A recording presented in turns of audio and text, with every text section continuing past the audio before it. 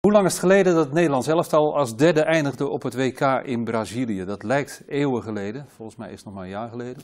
Nu zitten we met de brokken van een desastreus verlopen EK-kwalificatieronde. We liggen eruit en we gaan volgend jaar eh, niet naar Frankrijk. Willy, hoe heb jij geslapen vannacht? Ja, ik ga zeker niet naar Frankrijk nou, dus uh, ja. Je gaat dus, ook niet naar Frankrijk, nee? Nee, ik denk dat we Frankrijk gewoon moeten sluiten. Ja, het is, het is ik geloof 85 de laatste keer dat we er nog niet meer bij waren. 84. Of 84, nou, het is een drama. En het is eigenlijk al anderhalf jaar eigenlijk een beetje aan de gang. Vanaf de eerste wedstrijd uit tegen Tsjechië, die, die laatste minuut. En dan begon het eigenlijk al een beetje. En, ja, daar is misschien al de cruciale fout gemaakt om, uh, uh, om de verkeerde mensen op de verkeerde plaats te zetten. En uh, ja, dat, dat kun je dus de trainers verwijten. Maar nogmaals, daar hebben we het net ook over gehad.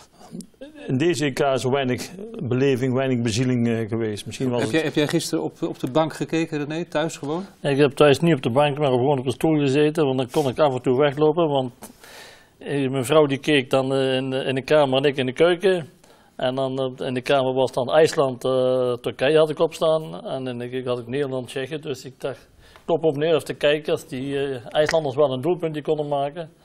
Maar ja, ik heb 10 minuten IJsland gezien en ik dacht, nou nee, die, uh, die winnen ook niet. Die winnen nooit van zijn leven hier. Dus, maar hoe, hoe zijn jullie dan tijdens zo'n wedstrijd? Niet te genieten voor je omgeving? Wat ik? Zijn, ja, jullie... niet, te, ja, zijn niet te genieten. Nee? Nee, nee, nee. Mijn vrouw zegt, uh, ik ga wel ergens met mijn vriendin ergens zitten. Kijk jij maar lekker voetbal, chagrijn. En dan, uh, ja, het, het, is niet leuk. Ja, je, je blijft hopen natuurlijk. Hè. Je hebt 1 tiende procent kans, dan misschien wel 1 duizendste. En uh, goed, als, als, en toen maakte Turkije dat 1-0, ja, dan is het helemaal afgelopen. En dan, ja, dan, dan denk je bij nee, hoe is het mogelijk? ik denk dat wij er meer verdriet over hebben als de spelers.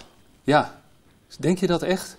Dat, dat gevoel, Want zij heb, staan dat gevoel daar. heb ik. Waar haal je dat gevoel vandaan? Ik denk gewoon dat ze vandaag gewoon gezellig uh, allemaal, uh, ja, het, het, maakt ze denk ik niet meer uit. Uh, de mensen zitten bij zo'n grote clubs allemaal, die maken heel veel successen mee en op een gegeven moment, ja, en, ik, je kunt nooit aan succes wennen denk ik. En, en, en dat moet je ook niet willen, want iedere keer is er iets anders.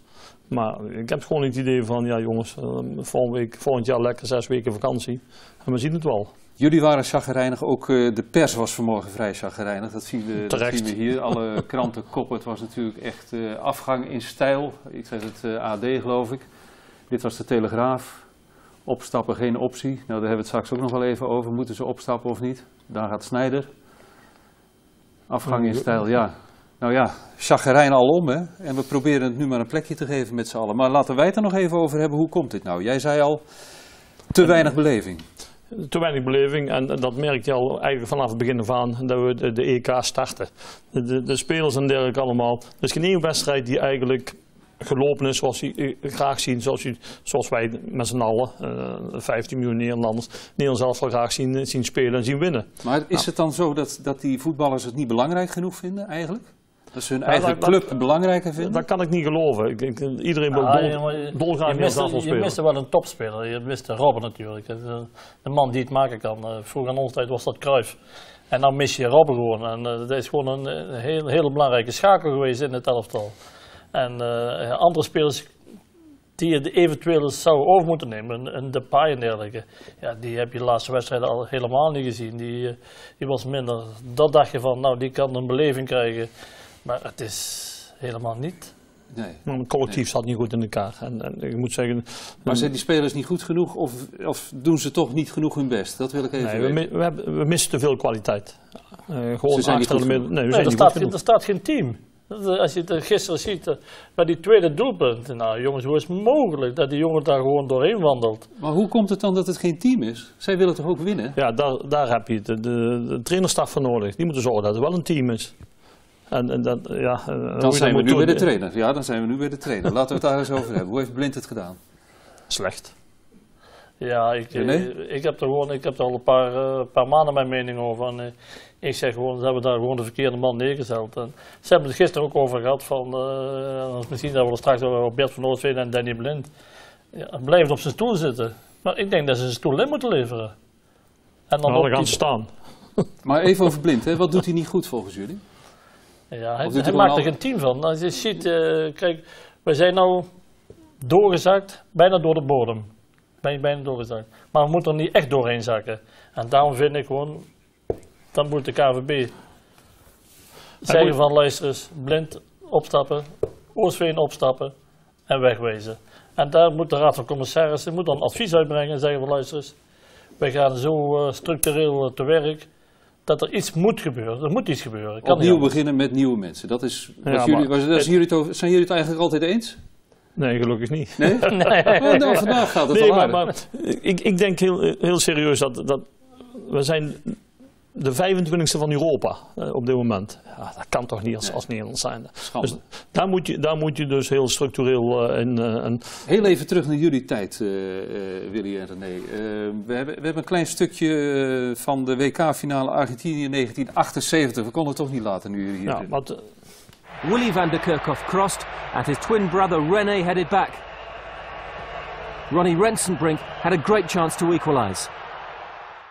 En die ging er net niet in, maar ik bedoel, de inzet was er, hè? Ja, dat was toch prachtig. Dat was, dat was beleving en bezieling bij, bij alle spelers. Uh, zeker zo'n WK spelen. En René memoreerde net al van ja, in 24 hadden we Cruijff en, en, en Robben nu. Maar in 78 hadden wij een team.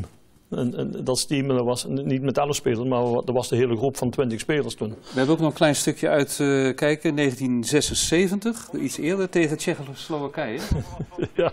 Waar je ziet dat jullie ook al ja, hard ingingen. Dat was, dat was gewoon een afgang. Ja. Allebei de WK's of EK's van 76 en 80 te zijn. Allebei ja, maar, maar er waren maar, maar uh, zes landen of, of, vier landen. Of vier, vier uh, landen de eerste. Maar wat was nou het grootste verschil tussen diegene, de huidige generatie en jullie?